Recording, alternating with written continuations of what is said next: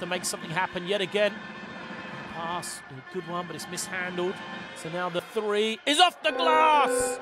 Chartereau knocks it down, and what an impact she's had. And no hurry here. Goes over for the open three, which is knocked down. Chartereau moves to double figures then. Now here comes Leedham. McCoughtry goes for the steal. The open three. Finally knocks it down. They'd missed five in a row. Here is Leedham. She's got a lot of room. She thought about it. Chartereau will fire it and buries it. Oh, what a huge shot.